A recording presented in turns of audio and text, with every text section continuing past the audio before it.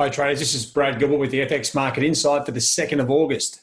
All right, now we've had the FOMC meeting, and uh, no surprise, they actually stayed uh, exactly on the path that, that we uh, expected them to. And the major currency pairs, surprisingly, I, I would have thought, especially with um, dollar yen, I would have thought that would be higher. I expected it to drift down and then bounce, uh, especially after the BOJ a few days ago, you know, being dovish, if anything. Um, the ECB, and they're on hold. I would have expected um, it to drift lower, a little bit lower than what it has at the moment. Okay, so all we've seen is, and if I just uh, take those lines off, okay, we've seen it just trade sideways. I think the market must be sitting um, a little bit square because you can see how the Aussie and Kiwi have just sort of drifted down just through the level, but they haven't really gone anywhere. And that's the same for Euro, although it hasn't gone through any levels. And of course, uh, with the Bank of England today, um, sterling hasn't gone anywhere. Okay, it's just trading sideways in a, in a sort of 30 or 40 point range. Dollar CAD, it is trading sort of sideways with a bit of a downward tone, but oil is falling, so you'd expect that to um, to rally at some stage. Dollar yen, it's, it's, a bit of a conundrum at the moment. I think um, well, the market's going to be long US dollars, and it makes good sense to be. It's just whether this cloud holds or not.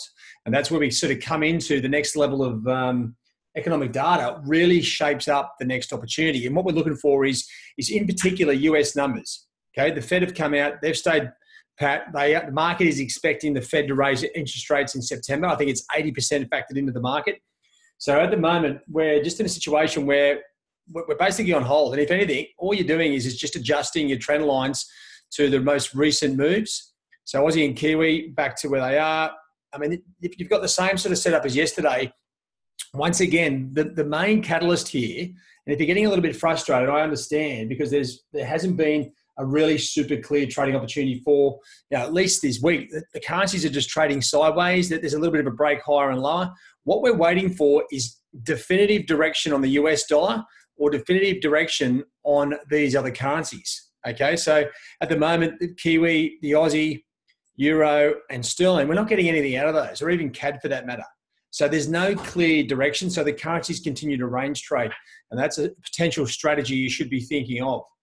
Now, this is where um, you, you got to piece all the dots together.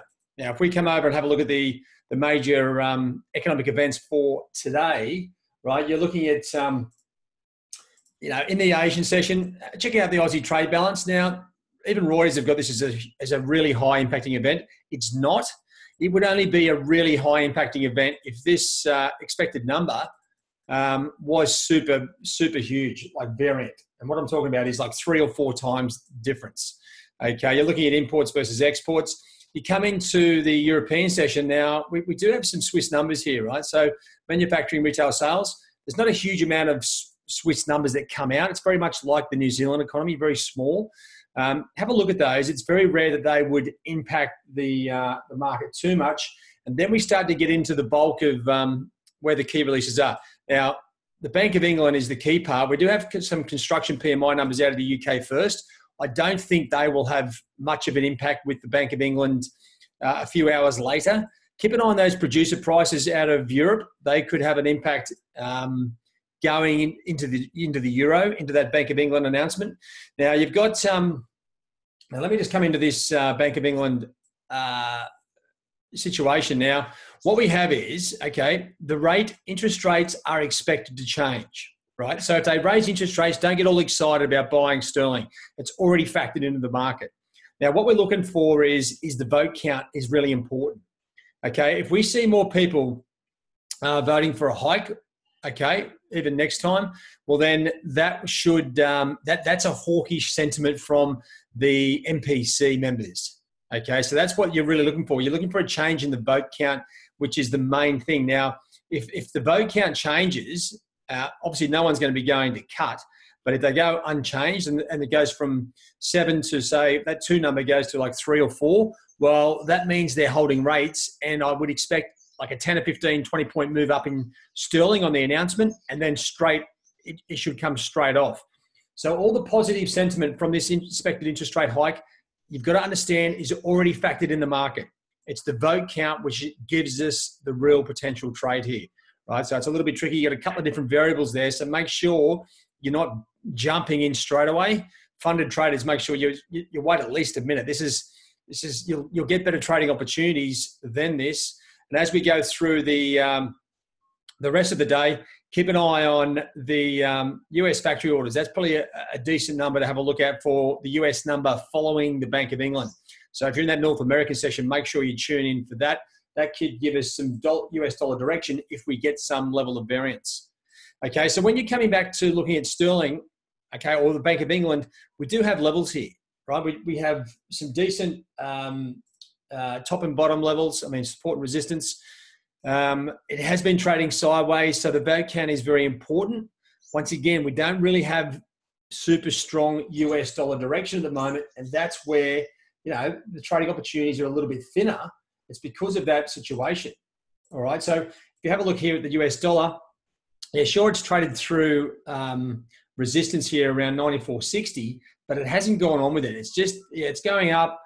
It's a sort of reassuring vote of confidence that the dollar isn't going down just yet, but no one is willing at this point to take it any higher. So really, all you're doing is adjusting the resistance level. So we're looking for a break above that level, and you know it's just not really delivering at this stage.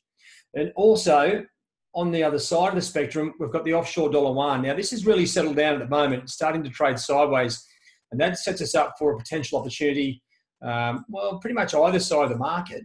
I mean, if I just draw the trend line on the top here, you can see we've got a, a clear resistance level on the top side, if not a, sort of like a triple top.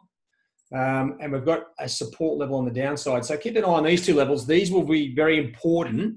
The, the yuan movements, if Trump or China come out with some comments, quickly look at your dollar yuan uh, levels. If it's going up or down, that's where the trading opportunity will be. And it will be reflected more so in the Aussie and Kiwi than any other currency pair. So make sure you know what you're doing there.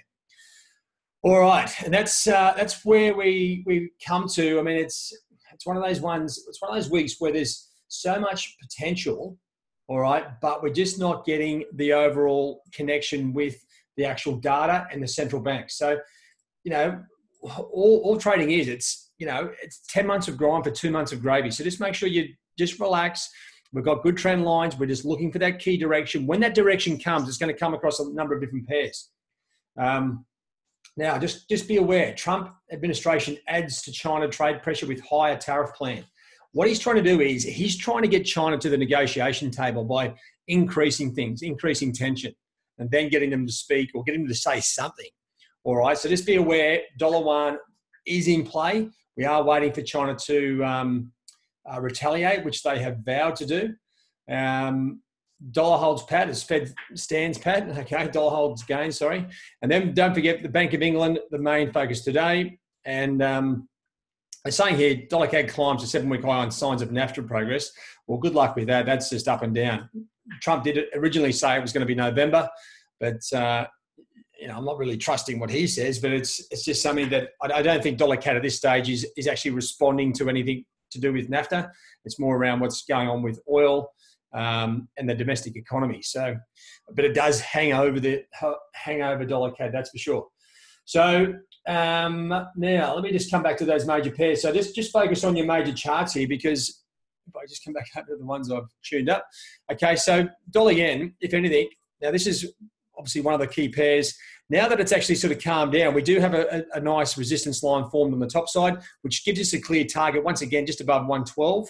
Um, we need some strong US numbers uh, to get that moving again. Um, otherwise, it's just going to grind sideways like we've seen uh, all the other majors doing.